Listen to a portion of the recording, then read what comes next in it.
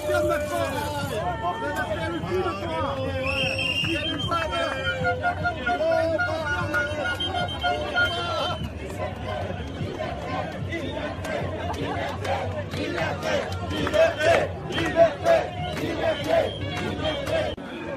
Voilà, regardez-moi cette belle image des pompiers.